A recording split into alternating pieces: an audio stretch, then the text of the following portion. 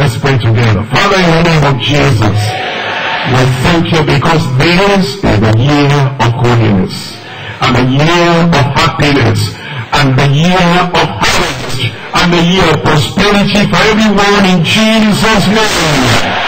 We're asking you, Lord, that this year you will touch every heart. You turn everyone around. And the joy of the Lord will be our strength in Jesus' name.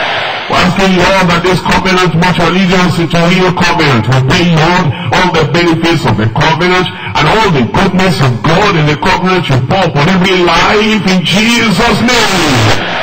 The conditions to be able to fulfill everything you desire, everything that will please you so that we can have everything we need to have according to covenant promises granted to us in Jesus' name. That this year we're going to be victorious. This year your strength, your power carry every one of us through in Jesus' name. All needs, lack, whatever in our lives, they're supplied in Jesus' name. Give us, Lord, your covenant blessings. We thank you because we know you have answered. In Jesus' name we pray. Another amen. Praise the Lord. Let's have a seat. God bless you. We're looking at Psalm 89. Psalm 89, I'm reading from verse 26, verse 27, and verse 28.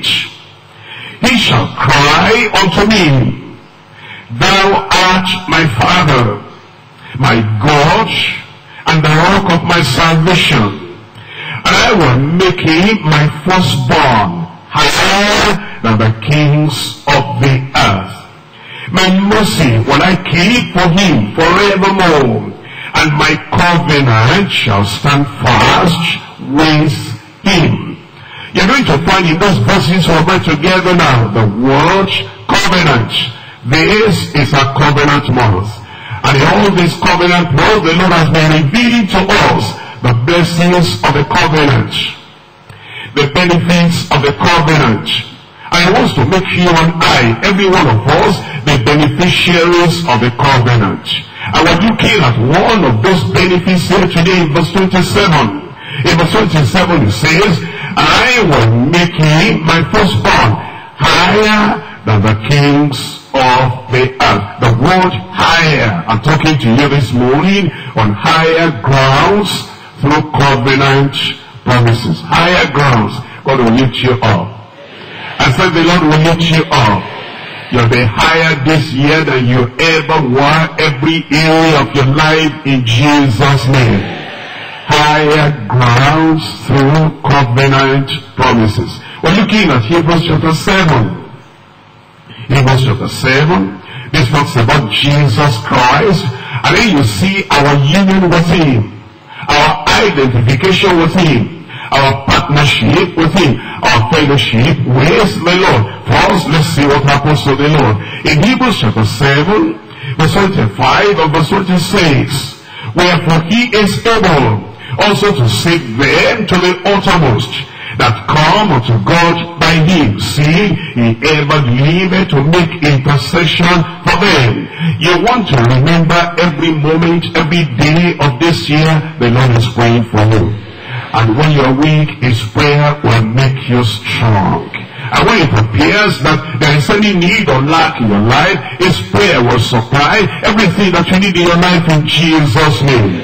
Because he ever lived to make intercession for us. Now in verse 26, for such a high priest became us, who is holy, harmless, undefiled, separate from sinners, and made, tell me the word, higher than the heavens, made higher than the heavens. That's Christ, the head of the church.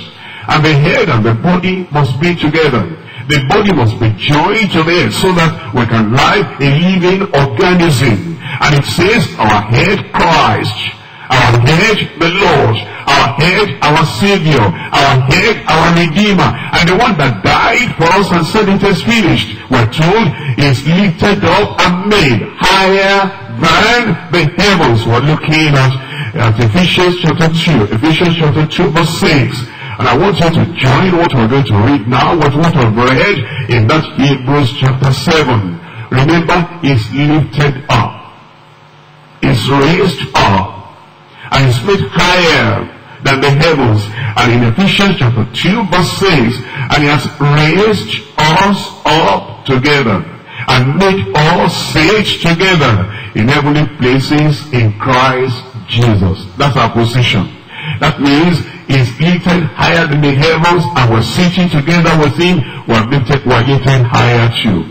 This year, all the things that crawl in the valley will not get to you. All the things that crawl on the ground will not get to you. Because we're not in the valley this year, we're not on the ground this year, we're lifted high, lifted higher than the heavens, together with the Lord Jesus Christ, and all the benefits of Calvary, all the benefits flowing from the throne of God, will be yours, will be mine, will be ours, will belong to everyone in the church in Jesus' name higher grounds through covenant promises. We're going to look at three things in the message. Number one, better promises in the new covenant. Better promises in the new covenant. Anytime you use the word better, you're comparing what it is now with what had been in the past. Comparison between now and the past. We're comparing the church of this day with the people of Israel in those days. And it says, we have better promises. We're comparing the Christian of today, the believer of today, with the believers of the old covenant period. And the world of today is having better promises. You are for this day, thank God, God's glory is coming upon your life. And it says you, as a Christian today, you have no right to compare yourself with those of old. Not even with Abraham, not even with David, and not with all those old covenant people. And you say, well, this happened to them, that happened to them. Some people are forever comparing themselves with Job. Or they say, you know what, I am the Job of today. But thank God it says we have better promises than that of Job. Me good amen. And because we have the better promises in the new covenant, that's why the Christian of today, the believer of today, the child of God today will rise up to your privilege and to your inheritance. And you say we have better promises in the new covenant. Number two, blameless purity and renewed consecration. Blameless purity and renewed consecration.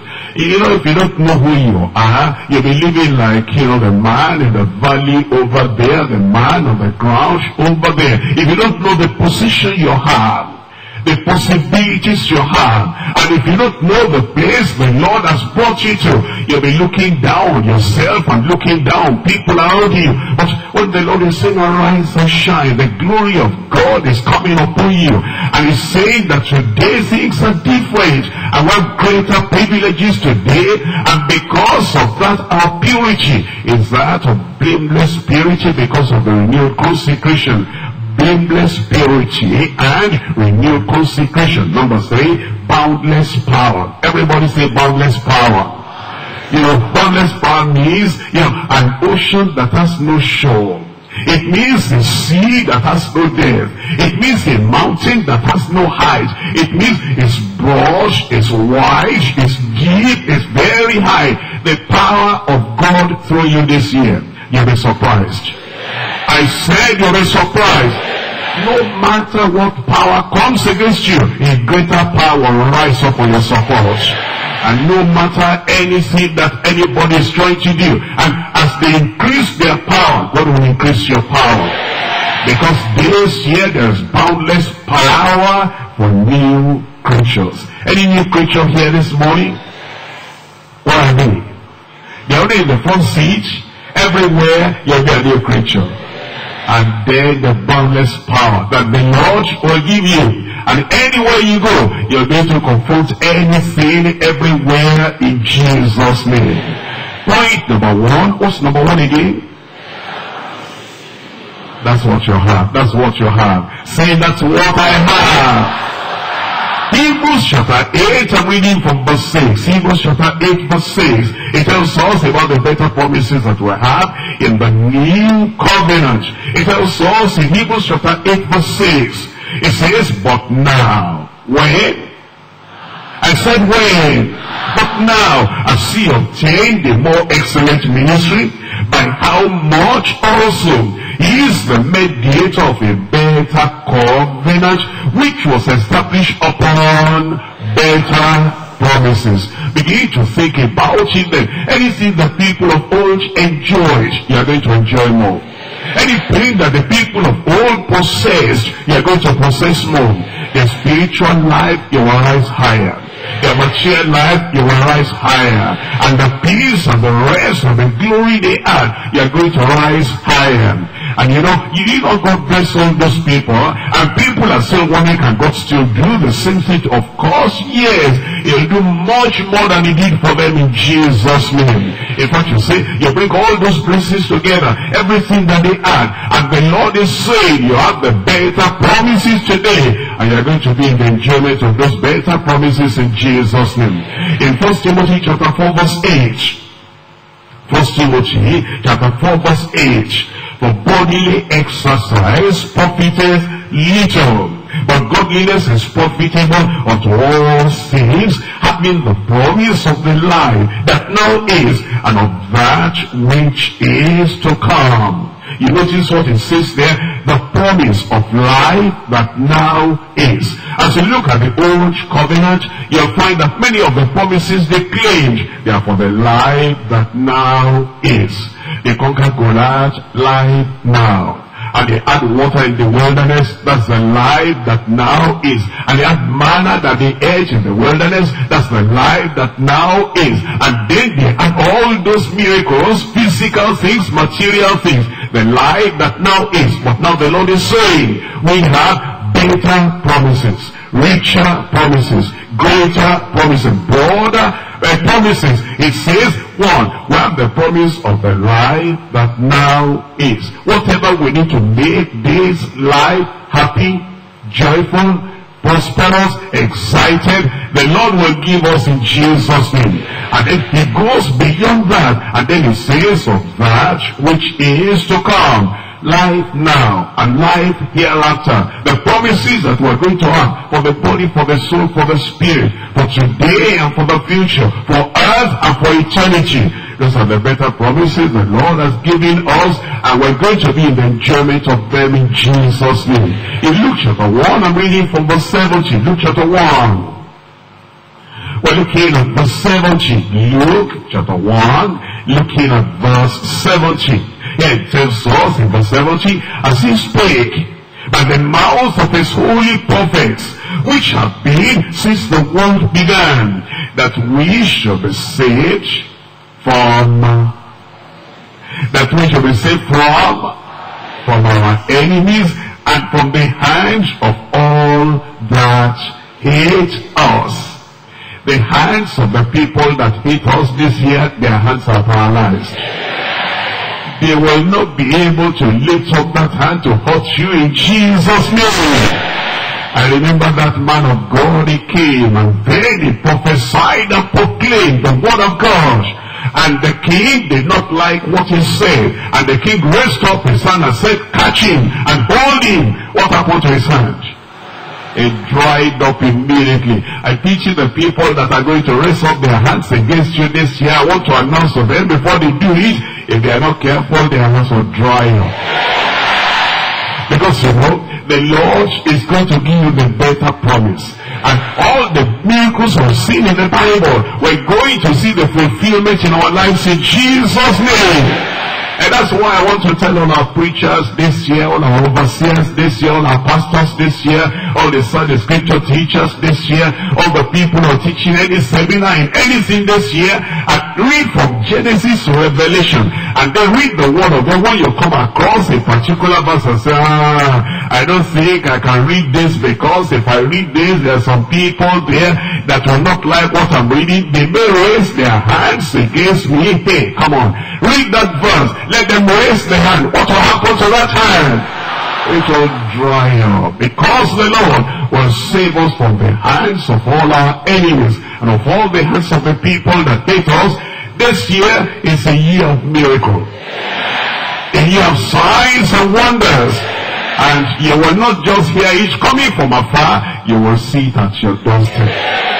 It will happen. Go anywhere that the Lord wants you to go. Any office the Lord wants you to go. And then they say, you know, the promotion, I'm afraid if, if they promote me, the people, my enemies, they will not allow me to enjoy the promotion. Where are they? Their legs will dry up. Their hands will dry up. Because this is the promise he has given every one of us this year that he will save us from the hands of all the enemies that hate us. And then in verse, in verse uh, 72, to perform the mercy promised to our fathers and to remember his holy covenant, the oath, which is where unto our father Abraham that he will grant unto us once again that we be delivered out of the hands of our enemies might serve him how? Without fear. This year there is no fear in your life. There's no fright in your life. Uh, you, you, know, there are some people, they run away from the heritage the Lord has given them because they're afraid. Stay where you are. The blessing will reach you there. And whatever storm arises, the Lord will quench everything and stop everything in Jesus' name. This year we're going to serve the Lord without fear. In the day and in the night. During the week and on Sunday we come to worship the Lord, we serve the Lord without fear. And it says in verse 75, in uh, Holiness, holiness. I'm going to, I'm not going to release you from that verse until I spell it out for you. Holiness, humility. Has shown you, man of God, what is required of you. That to walk humbly with your God in holiness, that's obedience as obedient children, not fashioning yourself according to your former laws. In holiness, that's the law. By there shall all men know that ye are my disciples, if ye have love one for another. And then it says in holiness that he is in innocence, integrity, that Till the world shall last, I'll keep my integrity and no man shall reproach me. Holiness is end. And then he says in newness of life that we should no more live our in sin, but live in newness of life. Holiness if there is endurance. He that endureth to the end, the same shall be saved. And then he tells us, holiness is an S there, which is separation come out from among them and be separate, says the Lord. Then I will receive you, and you shall be my sons and my daughters, says the Lord Almighty. The final is their self-denial. That he looked at the people that followed him and he said, except you take your cross and deny